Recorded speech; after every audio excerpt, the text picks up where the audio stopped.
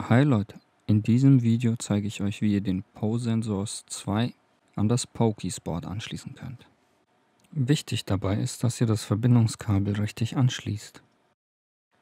Und so sieht das Board aus. Es hat einen 5-Pin-Konnektor. Pin 1 ist 5 Volt, also achtet bei der Verkabelung drauf, dass ihr das nicht vertauscht. Es besteht aus zwei Temperatursensoren, Feuchtigkeitssensor, Lichtsensor, 3-Achsen-Beschleunigungssensor und 16-Bit Analog-Digital-Wandler. Manche haben hier so einen roten Stecker, der funktioniert bei mir nicht, nutzt den weißen PONET-Stecker. Hier sehen wir noch, welche Sensoren genau verbaut sind. Später zeige ich euch noch die Orientierung vom Beschleunigungssensor. Als nächstes öffnen wir die Pokey-Software, connecten gehen auf Peripherals und Easy Sensors. Dann gehen wir auf Scan for I2C Sensors und hier können wir die einzelnen Sensoren auswählen. Rechts ist die Beschreibung vom Sensor, in der Mitte der Sensortyp und links die Adresse. Wir können die so anklicken und mit hier sehen wir die einzelnen Sensortypen nochmal und die Refresh Rate können wir einstellen. Bei Beschleunigung macht es Sinn, etwas niedriger die Refresh Rate zu wählen. Bei Temperatur und Feuchtigkeit können wir etwas mehr. Mit Leertaste und Pfeil runter können wir die alle auswählen. So, jetzt fertig. Jetzt sehen wir die alle rot. Jetzt müssen wir Send to Device klicken und dann nochmal Refresh Values.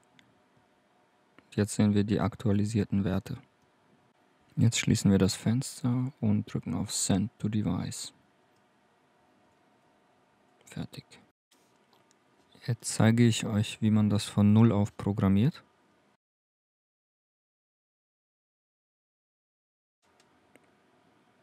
So. Bediener, Bildschirm bearbeiten. Jetzt machen wir das Fenster mal etwas klein. Und wir haben uns ganz wichtig eine Sensorliste vorher erstellt. Ein Screenshot. Das dürft ihr nicht vergessen. Hier ist der Sensor 0, in Wirklichkeit der Sensor 1, aber das zeige ich euch gleich. Als nächstes könnt ihr hier reinklicken, damit das Fenster einen schwarzen Rahmen hat und aktiv ist. Und wir ziehen uns jetzt mal eine Gauge Controller. Wir kopieren uns jetzt das Element dreimal.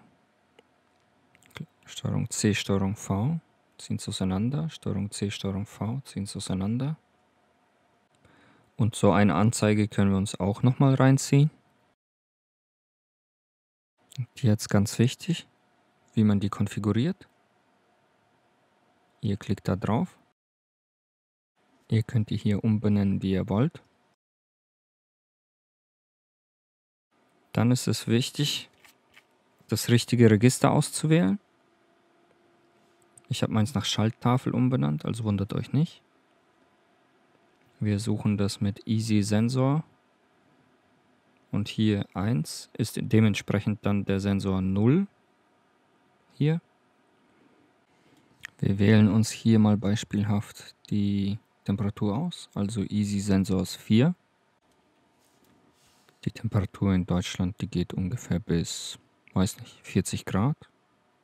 Und dann stellen wir den Max Value auf 40 Grad ein. Dann können wir die Segmente einstellen. Das zeige ich euch mal an dem Beispiel. Wir stellen drei Segmente ein.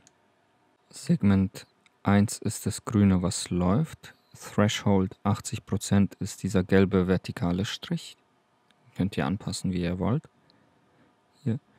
Und wir haben noch Threshold 2 mit 90%. Den könnt ihr auch anpassen, wie ihr wollt. Und unten könnt ihr auch nochmal die Farbe einstellen für SEC 2 Color oder SEC 3 Color. Also easy. Und unter Text Display könnt ihr Value einstellen und dann seht ihr direkt im in der Segmentanzeige seht ihr dann den Wert dargestellt. Bediener, Bildschirm bearbeiten, speichern ja.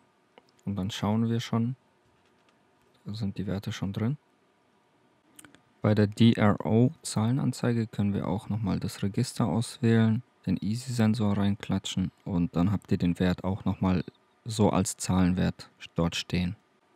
Das Problem sind die Nachkommastellen, das sind ganz viele, die brauchen wir eigentlich nicht. Wir können uns das im Original DRO mal angucken, wie das formatiert ist.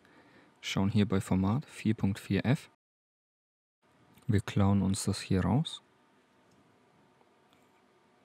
und klicken nochmal ins DRO, fügen das hier ein, modifizieren die zweite Nachkommastelle mit Punkt 2f und schauen oben rechts, die Nachkommastellen sind verschwunden.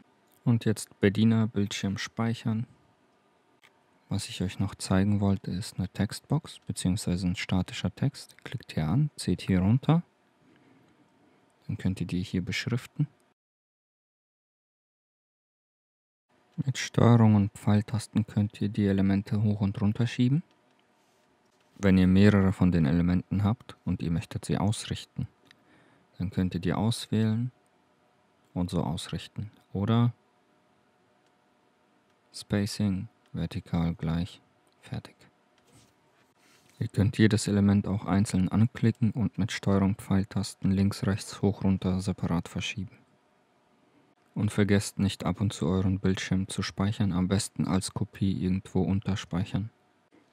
Ihr könnt jetzt zum Beispiel Neigungen messen. Wenn ich den Sensor mehr und mehr neige, äußert sich das in den Sensorwerten. Je nachdem, in welche Richtung ich den Sensor neige, kommen andere Beschleunigungswerte rein. Leider ist die Kamera oben rechts sehr träge gewesen und hat gar nichts erfasst, was ich da rumexperimentiert habe. Man sieht aber auch, die Lichtintensität ist schwankt. Hier sehen wir jetzt noch das asynchrone Bild, was nicht zu den Sensorwerten passt, was davor aufgenommen wurde. Also das ist zeitversetzt. Wir sehen jetzt das Bild zu den davor aufgenommenen Sensorwerten. Im Datenblatt vom Beschleunigungssensor ist er durch einen Punkt markiert und da seht ihr auch die Orientierungen.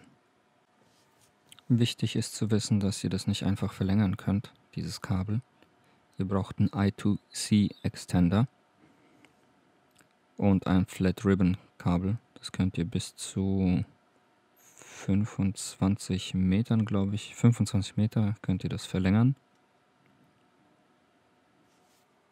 Dann ist der Aufbau so wie hier gezeigt, ein Extender, Kabel, Extender, Sensorboard. Das heißt, ihr braucht zwei Extender. Vielen Dank fürs Zuschauen. Ich freue mich auf ein Abo und ein Like, damit ihr nichts verpasst. Macht's gut.